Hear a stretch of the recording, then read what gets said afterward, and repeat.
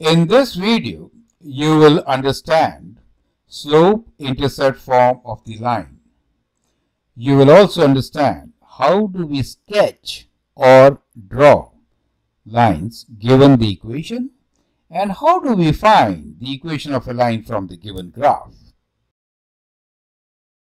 I am Anil Kumar.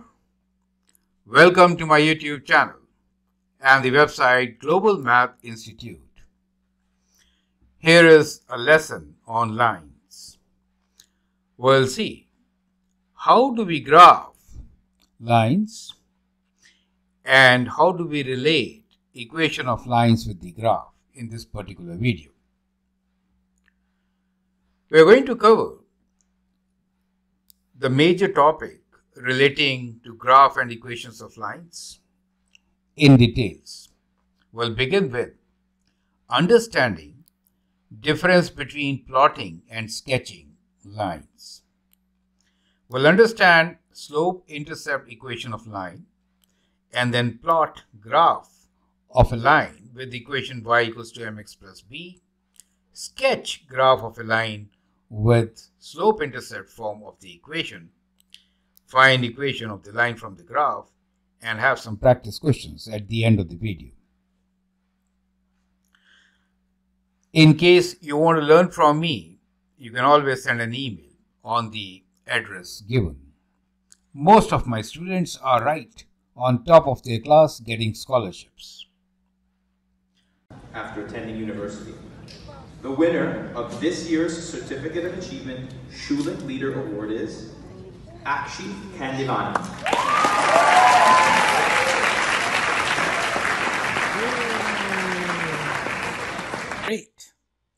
Our student Akshit gets highest marks and the most prestigious Schulich Leader Award. You can be there. Join our classes and excel. Now let's begin with understanding the difference between plotting and sketching lines. Can you tell me what is the difference between plotting and sketching lines? Well, plot is very specific and sketching is kind of rough. So we can define kind of like this. Plot or draw straight lines means specific points should be plotted on coordinate plane and then connected by a straight line. So when we consider plotting, in that case, important thing is to have table of values.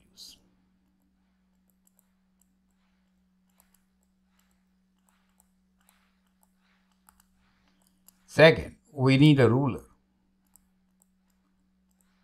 to connect. Third, very labeled.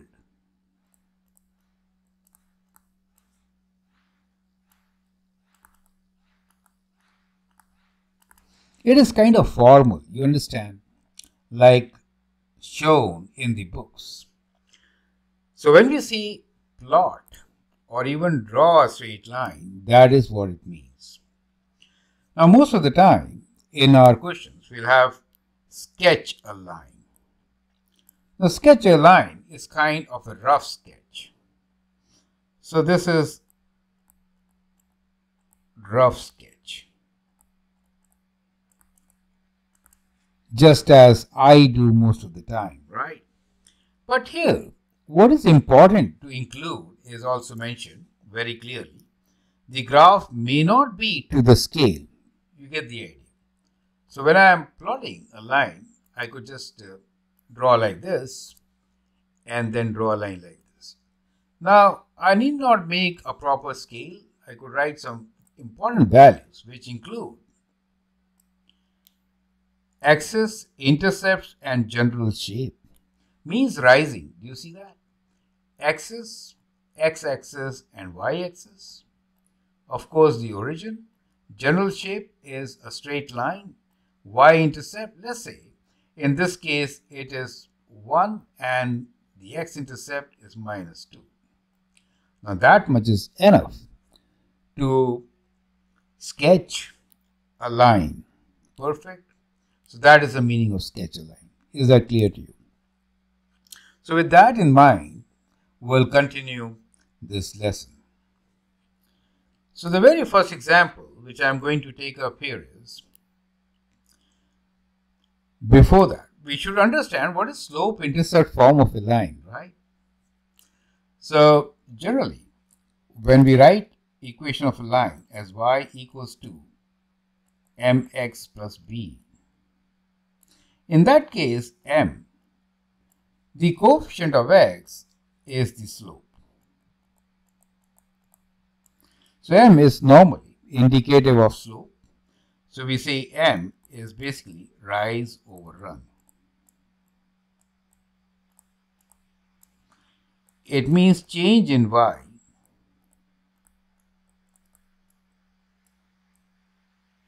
value over change in x value. Or we can say delta y over delta? So you can find slope from the given graph. For example, the line sketched here. We can identify two good points. For example, let's say this is one point and that's the other point. So in that case, you will notice that change in y is this, right? So make a triangle, right angle triangle, right? So 1, 2, 3 units is change in y and 2 units is change in x. So in this case, the slope of the line is positive 3 over 2. You get the idea. So that is how you figure out slope from the diagram, right? Change in y. This is delta y. And this is delta x, change in x. Clear? We also write sometimes as most of the time rather y2 minus y1 over x2 minus x1 when we are considering coordinate points, right? So we go write the coordinate points of this one as x2, y2 and the first one as x1, y1. Make sense? Let's say A and B. So coordinate points of A are x1, y1, of B is x2, y2. Slope between them is y2 minus y1, which gives you the height of this triangle, and x2 minus x1, the base of the triangle. And that ratio is the slope. Perfect? Now the second parameter is slope in slope-intercept form. And the second parameter here is the y-intercept. So B is y-intercept. Y-intercept is where the line crosses y-axis. Do you see that? So at y-intercept, x value is 0.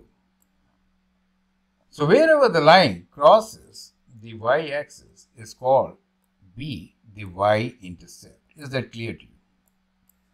Perfect. Now, with that in mind, let's begin our lesson of plotting lines. As I said, plot or graph a line means you have to be very specific. You have to show the points on the graph and connect them with a straight line. I'm not going to use a ruler to connect them, uh, but you should consider that line of mine as a straight line, okay? Perfect. So we have coordinate plane here. That is the origin, x-axis and y-axis. Correct. So we have equation y equals to 2x minus 4 to be plotted. So normally what we do, we take values of x as minus 2, minus 1, 0, 1 and 2.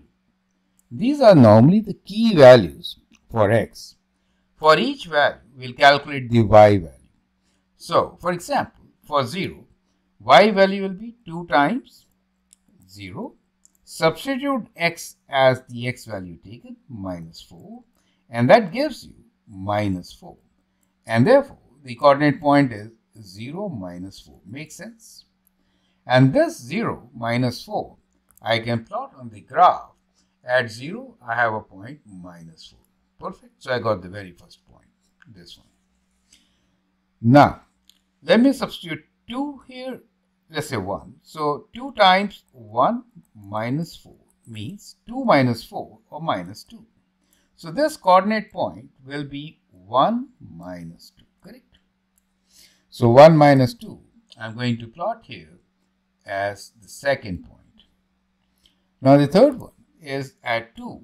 I'm putting 2 times 2 minus 4 which is 0. So we get 2 and 0. So this is the x-intercept.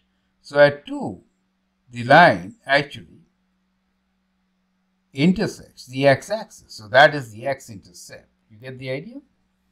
Let's calculate for the other values also. 2 times minus 1 minus 4 is equal to minus 6 and so the point is minus 1 minus 6 and 2 times minus 2 minus 4 will be minus 8. So I get this as minus 2 minus 8. So you saw that while I was calculating, I started my calculations with 0. That is a good way of starting since it is easiest value to calculate. You get the idea? And second thing, when you see that the slope is 2, you will see that all the y values are actually increasing by 2 as we go down, right?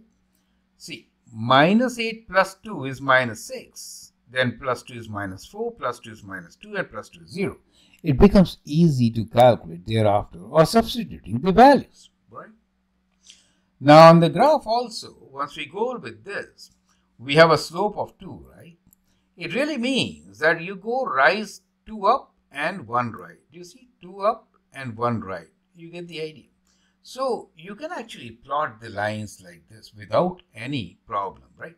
So, or you can go 2 down and then 1 left. You see that? And 2 down and 1 left. So, so we got a set of points right there for you, right? Two down, one left, and so. All these can be connected with the graph of a straight line. So, so we calculated up to this point. So if I have 3,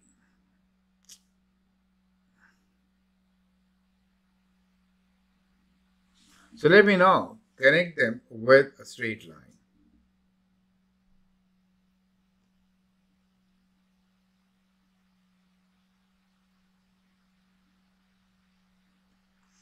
So since I have only connect uh, taken those four, I will connect these five points, right? And draw a straight line. Perfect. So let me do it with a different color. Assume that this is a straight line. Is it okay? Right. So that is how you're going to plot a line. Perfect. Let me make it slightly better.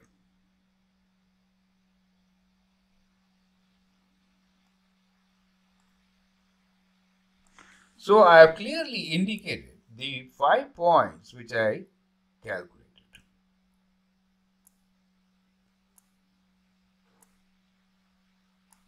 So here we have the y-intercept which is at minus 4, the x-intercept which is at 2.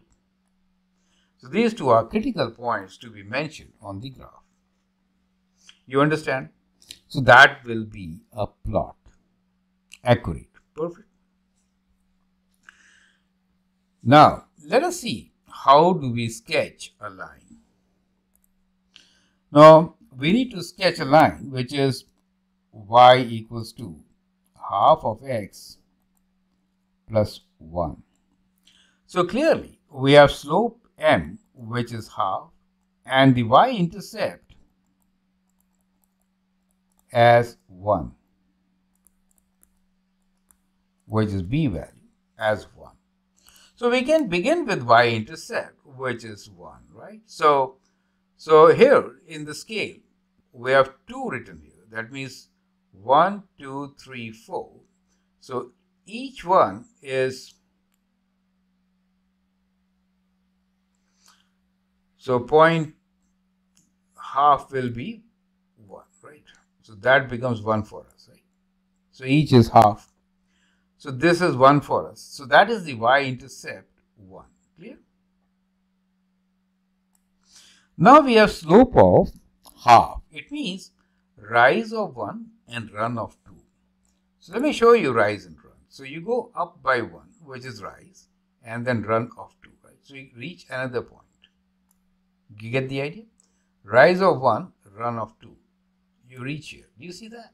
You will also go down by 1 and 2 left, down by 1, 2 left, like this. You see that?